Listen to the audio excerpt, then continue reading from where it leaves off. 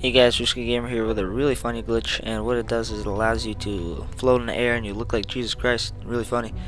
Um, what you want to do is come to an infected game and if you think you're going to get infected, you don't really know, you want to come to an obstacle that you can climb up. You can press A and like halfway, like half of a second before someone gets infected, you climb up that and hopefully you'll get it and get it. Um, please check out my other videos and subscribe for more great content.